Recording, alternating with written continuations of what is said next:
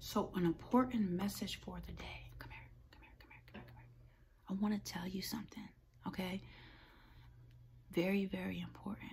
If someone doesn't like what you're doing, if someone is not on your wave of their frequency, if someone is not supporting your spiritual journey, fuck them.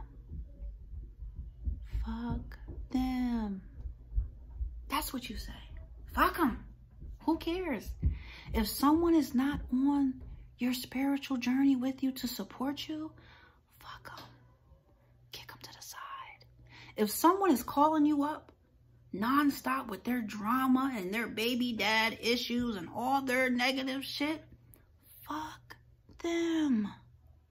You came here to grow on your spiritual journey. You came here to find your family and family is frequency. So if you don't have people around you that's supporting you, that's at least trying to understand your journey and understand your struggles and trying to bring some type of peace, guess what? Fuck them. Yeah. Fuck them. You don't need them. Your space is crowded.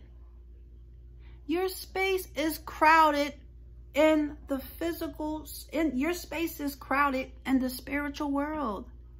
So as I sit in my living room, there's no one down here. But I don't give a fuck. You know why? Because my spiritual team is very deep. My spiritual team and my spiritual space is very, very full. So it's okay if you feel alone. It's okay. It's okay. Fuck them. Yes. Fuck them. That's what you say. When someone's hating on you because you got your sage and your spraying and you got your crystals on and they don't understand it,